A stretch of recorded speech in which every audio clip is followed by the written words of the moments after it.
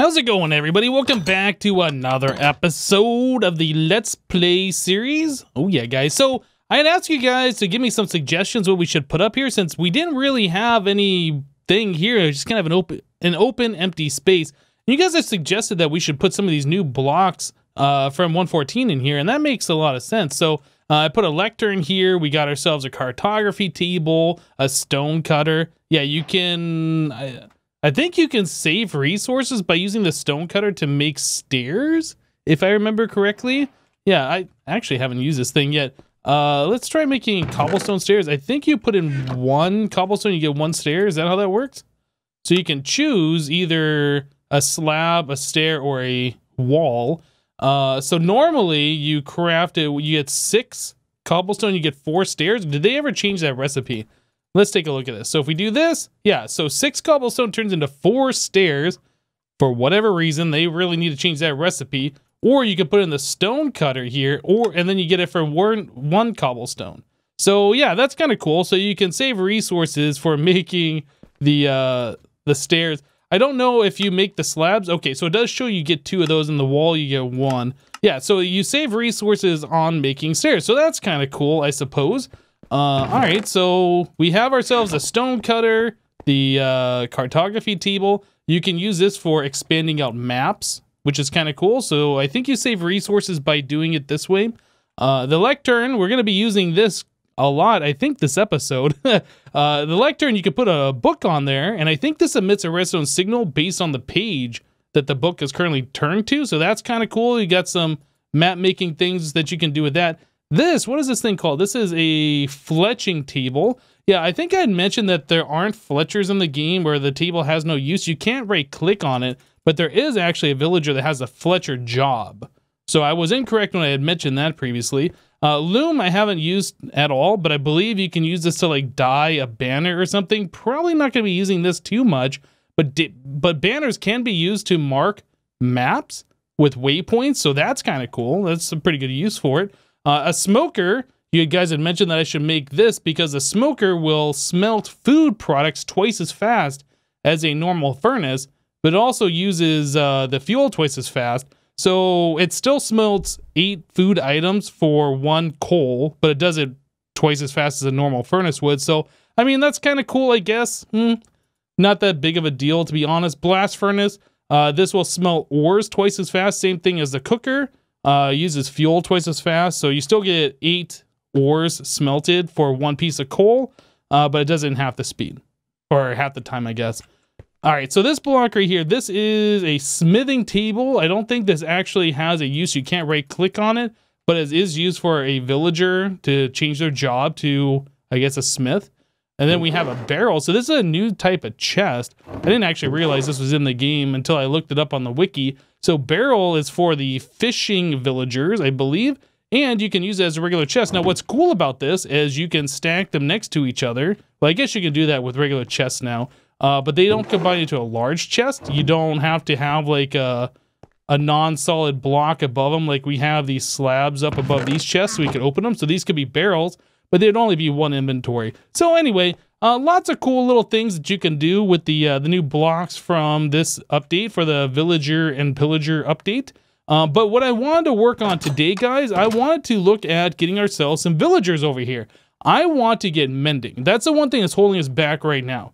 Uh, our fortune pick is low durability. We can repair it on an anvil with diamonds, but if we can get mending on it, all we gotta do is just go to our our uh, mob farm, and then all of our stuff gets repaired. Yeah, same thing with our helmet and our other armor. Uh, eventually, we'll make ourselves a better mob farm specifically for repairing, most likely in the end. Um, so to get a villager over here, that's going to be kind of a tricky thing. Uh, pretty much the best way to do it at this point in the game is to get a boat. You put the villager in a boat, and then you just drive it along land, and then you get to where you're going. Uh, but yeah, we have a little hill here, which to me is kind of annoying because I have to hop over this thing every single time to get over to our mob farm over here or to get to our boat where we normally go to. Uh, I would like to flatten it out.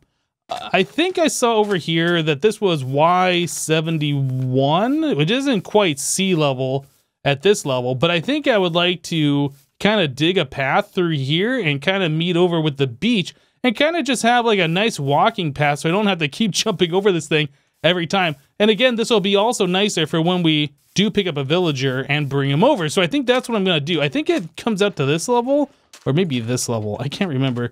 But anyway, I'm going to go ahead and do a little bit of digging, uh, terraform this out a little bit, make like a nice little valley, I think. I don't think we're just going to do straight line.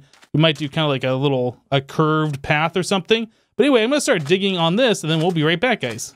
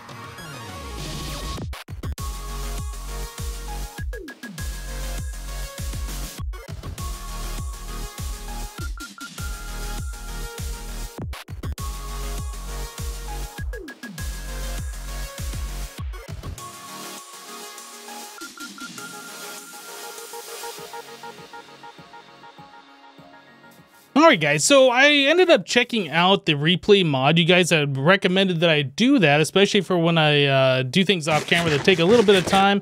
You guys let me know how did it turn out. First time really playing with that mod. Uh, in order to use it, you do have to download something called the Fabric Launcher Mod Loader or whatever, and then the Fabric API. I guess Fabric is similar to Forge.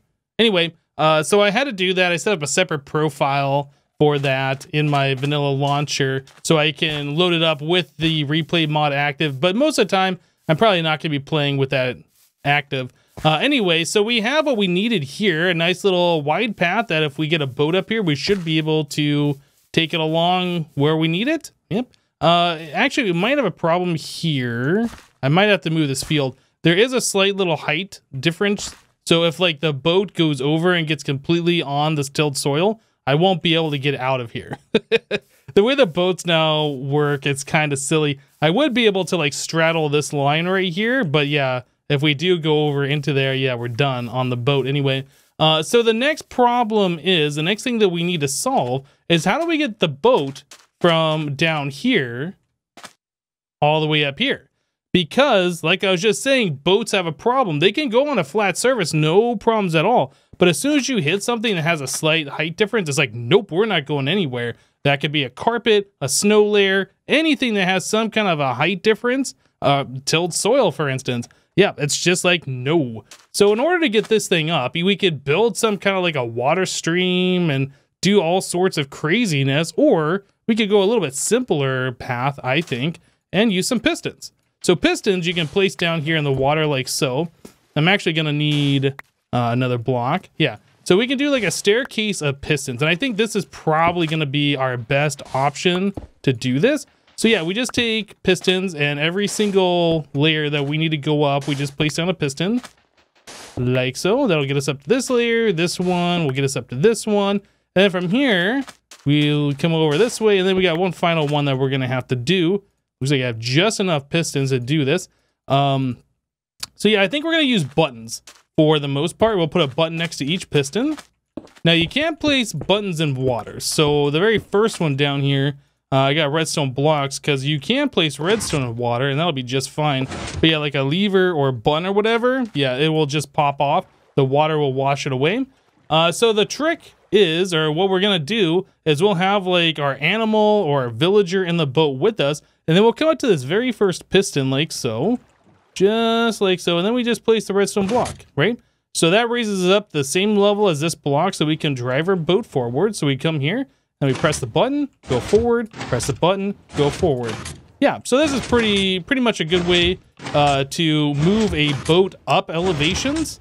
Yeah, it's I don't know if this is the best way. You guys can let me know down below if you can know a better way of doing it, but uh, in my opinion, this is pretty easy. So yeah, nine pistons, some buttons, a redstone block, and we are good to go. So now we can drive our boat with a villager in it once we go pick one up and then bring it to our basin, uh, set it somewhere around here. I think that'll work just fine.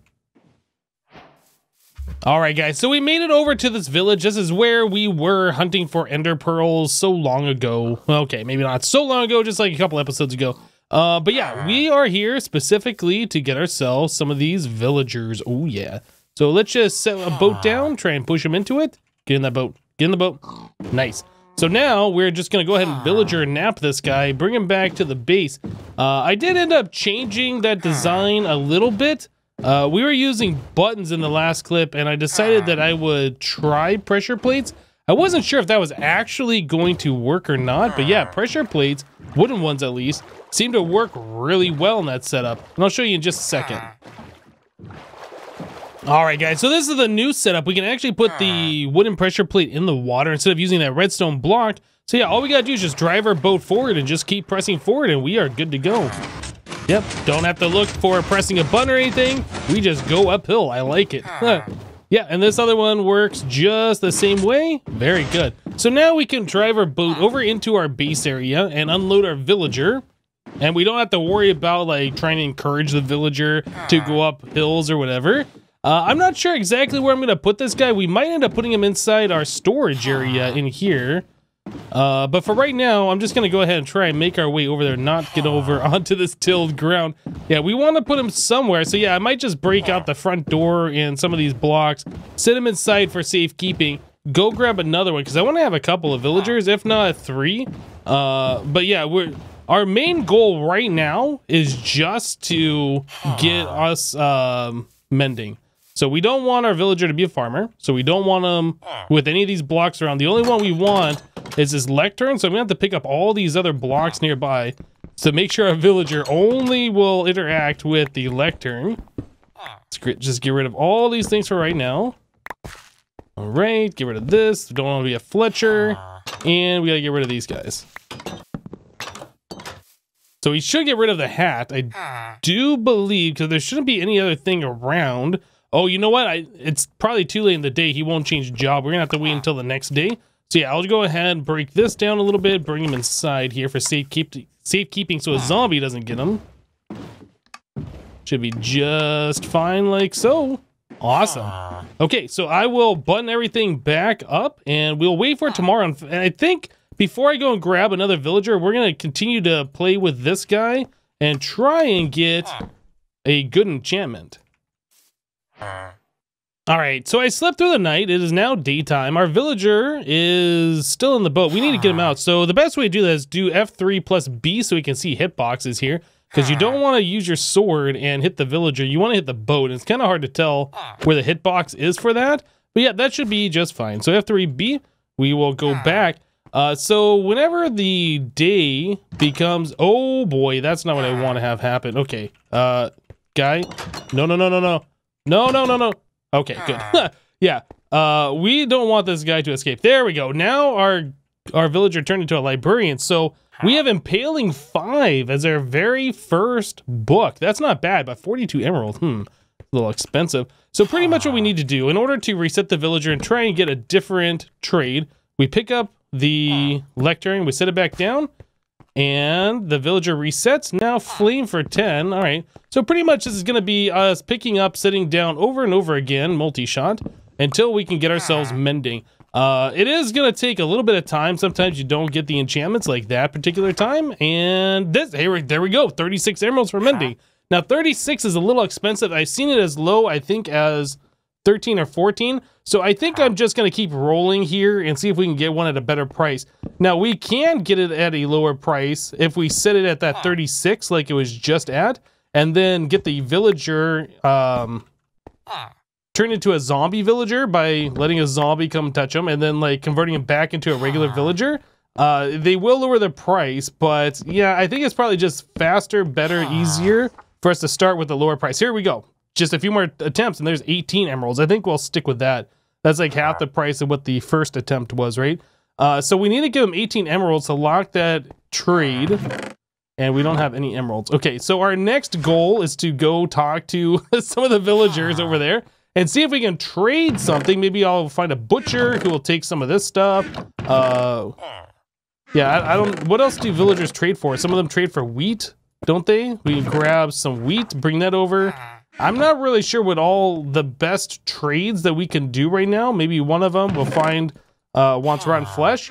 Anyway, I'm gonna go over to the village, see if we can find a villager to trade with, and see if we can get ourselves 18 emeralds.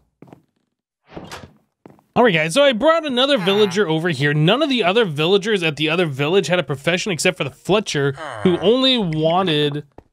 Uh, the Fletcher only wanted me to trade emeralds for like flint or for arrows, I think.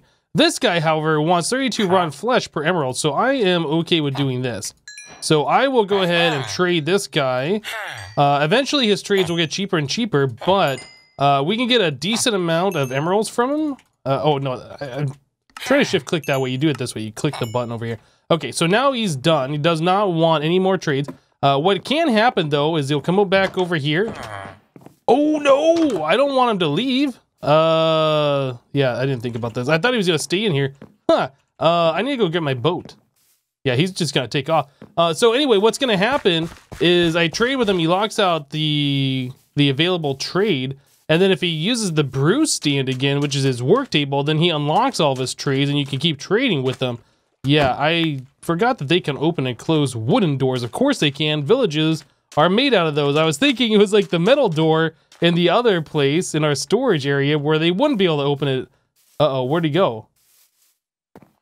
Oh no, did he take off and go down into the swamp down here? Because it looks like that's where the guy was. It looks like where that's where he's headed. Uh. All right, I don't know where my villager buddy is. Maybe he went in? No. Oh no, we gotta find him. So yeah, I've been trading with this guy for a little while now. He has gone to the point where he is accepting the rotten flesh for cheaper, right? Uh, it's only 31 instead of 32. He just reset again. Uh, so yeah, I'm just going to continue to do this. I want to try and get as many of our mending books as possible. Now again, there are ways that we can get it cheaper. That is all of our rotten flesh. So we have a stack plus seven emeralds. That's really not that bad. Rotten flesh for emeralds? Oh yeah, let's go. Uh, so back over Oh, you know what? I guess that button must affect that. I was like, why is that down? uh, yeah, so back over here to this guy. 18 emeralds plus a book will get us mending. So that is going to be... Well, we can get three mending, right? So 18, 18, 18. If we had one more emerald, which we actually do right here, uh, we can get four mending books. But really, what we want mending for is our elytra. That's like the most important thing followed by like our fortune pick, and then onto our armor, and then our tools. Uh, then other stuff that we can get pretty easily though. Uh, so let's see, we need to get ourselves a book, right? So we needed, well, we need three books actually. So let's do three leather. We'll grab some paper. That'd be another villager that we could also do is get ourselves another uh, librarian villager who wants to trade for paper. So that would also be a pretty good way for us to get more emeralds. But I think we're doing pretty good as it is. So let's do mending. Mending. And mending. We'll take it. I like it. Oh, give me that back. Okay. So we have 17 emeralds remaining. I don't think our guy's going to level up at all. Uh, oh, actually, he only wants 17 emeralds for a mending now. He uh, is cheaper. All right, let's do it. I will take another mending for 17. One off. I like it. Uh, paper. There we go. One more book. What I do with the leather? Found it. All right, let's go, guy. Give me one more mending. Dude, that is awesome. So see how easy mending is to get now? This is crazy, in my opinion. Uh, the elytra we want to put mending on, and we also want unbreaking. I think I had an unbreaking book uh, back at our mob farm. So we'll leave these guys alone over here for now. I'm going to head up to the mob farm, see what we have as far as enchanted books would go, and then we'll continue on. All right, guys, so up here at our mob farm, we have a bunch of enchanted books that I spent a lot of our levels on trying to just get good enchantments so we have them for later. Unbreaking 3 was one of those, and then we also have an Efficiency 4, which we can convert one of our picks to Efficiency 5 with. But anyway, let's grab this um, Unbreaking book. We want to use our Anvil. So Anvil plus the Unbreaking, three levels to up our Elytra to an Unbreaking Elytra and then we'll add mending to it. That's the really important thing because now we can use this elytra over and over and over and not worry about flight. Yes, this is good. Uh, so now that we have the ability to fly, or at least use our elytra for longer and then repair it, uh, we do want to use this gunpowder so we can get ourselves rockets. Uh, I think all I need is one stack, actually maybe a little bit more. I think just a stack of paper I can't remember how this all works. It's been a minute. Let's take a look. So we take the sugar cane, we convert that to paper, and the paper... Oh, no, we're going to need far more than that. Yeah. So we're going to do three gunpowder to one paper, which gives us a flight duration of three. So that gives us a pretty long flight duration, which is great. So we can take these and do that again. Some more of these rockets. Oh, yeah. So we have quite a few of these rockets now, which is great. That's what we want. Let's go for our very first flight. Jumping off, Elytra activated. Oh man. Okay, so we have the ability to fly now in Minecraft. And if you haven't seen this before, these rockets, they allow you to actually fly. Now you gotta be careful with the rockets and boosting and the Elytra and stuff. You can kill yourself if you run into something, like if you use a rocket and then you fly right into a block yeah, you'll do a lot of damage and or kill yourself depending on your enchantments and how hard you hit and all that kind of stuff. So you do got to be careful about it. But yeah, I mean, this is going to be really, really awesome for us. So let's go ahead and grab... Mm, yeah, we'll just put mending on the pickaxe. We want to do that. So mending on here, that only costs two levels, and we can repair. And the same thing for a silk touch. I feel like both of those are pretty important for us to do. Now, beyond that, I mean, our shovel is also pretty low on durability, but so is some of our armor. I don't know really what the best to do right now. Like, we can just sit here and farm for uh, more raw flesh to trade for emeralds to get more mending. So maybe putting on our sword would be the next best one. I honestly don't know. But anyway, what we need to do at this point, if we want to mend stuff, uh, yeah, we just attack monsters. That's pretty much it. Uh, the more mending armor you have on, the slower it is to mend. So if you're only holding one item in your offhand that has mending and no armor that has mending, all of the XP that can mend will go to this. So that's the fastest way to mend something. Uh, if you have armor on, you get, you know, a chance for this one, 20% chance, 20% chance, 20% chance so on and so on, right? So yeah, pretty much you want to take off all of your armor except for the one piece that you want mended. Uh, if you have mending on them, since we don't have mending, it doesn't matter for us right now. But yeah, so you can see like every single time we give orb, our our uh, diamond pickaxe here is gaining durability, which is fantastic. Anyway, so I'll go ahead and continue mending this up and then collect some more round flesh. Maybe we'll get enough to get ourselves some more mending books. All right, guys, so I went ahead and I got mending on our elytra, as we saw. I put mending on my helmet, and we have mending on both of our pickaxes. Yep, and then I also got another mending book, and I put it on our feet. I feel like Feather Falling Unbreaking Protection is one of those pairs of armor you don't want to have to remake. Um, so the next ones are probably going to go on our other two pair of armor, our other two pieces of armor that don't have it, followed by probably a sword, a shovel, and then our axe. Now, here's the thing. Our villager here, our apothecary villager, has leveled up. You can see he has the diamond. I believe he's fully mastered, so he doesn't have an experience bar anymore. So these are all the trades that we have unlocked. Um, so I got rid of all the round flesh, and I saw it was two gold ingots for an emerald. I was like, you know what? Gold is pretty worthless in Minecraft. Like, you can use it for a few things, but not a whole lot of things. So I went ahead and I traded a bunch of gold until he locked out that, and then and that unlocked all of his trades. But the interesting one is right here, I feel like. Eight glass bottles for an emerald? That's eight pieces of sand for an emerald. I mean, obviously you have to smelt it or whatever, right? But I feel like that is a steal. So if we come back over here to our sand thing, we smelted up a whole bunch of glass previously, so we could do some stuff with that, but I think we're gonna change our plan just ever so slightly here, make some glass bottles, and get ourselves some more emeralds. Now, remember, that's only three stacks of glass that we just did. He wants eight per emerald. Let's see what we can do here. So, we're up to 10. 14. Oh, and we gotta wait. There he goes. Now we can do it again. 22. So there is another mending book for three stacks of glass, right? Three stacks of sand. Oh my goodness, guys. Oh, you know what? It wasn't even three stacks. We still got half a bottle or half a stack of bottles here, right? Now we're up to 26 of these things. Man, that is really good. So I'll go ahead and continue uh, getting mending from this guy, get on the rest of our armor pieces. Yeah, and then we will see where we're at from there. All right, guys, so we have mending on everything now. Mending on our diamond helmet, our elytra, all of our armor, our chest plate, all of our different tools that can have mending on it. The bow cannot, since it has infinity. It's mutually exclusive, infinity and mending, so you can't do that. Uh, but yeah, everything else that we have has mending on, and everything is now repaired, which is fantastic. Now, one of the best things about doing this is we can now kind of explore around our area and actually get a better idea of what we have nearby. Yeah, uh, without being able to fly around with the Elytra, it is really, really hard to see what's in your neighboring chunks, what you have over here. There could be a desert right here and I wouldn't know it, right? Uh, I mean, pretty much we've been limited to where our boat can take us. But yeah, now that we have the Elytra, we can fly around, start mapping out the place, kind of get a general idea of where everything is, check out shipwrecks and things. Is this one that we have already checked out? I don't actually know. Let's take a look here. I think this might have been one we checked out previously.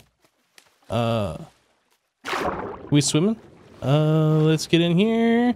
A door, get a breath. No, we haven't been here. Buried treasure map. All right. So that's something that we can go do that will allow us to try and get a, uh, a conduit or I guess a heart of the ocean, which is used to create a conduit, which is kind of like an underwater beacon. Uh, I kind of checked that out a little bit before, like when I was uh, playing vanilla in a hardcore setting on my live streams.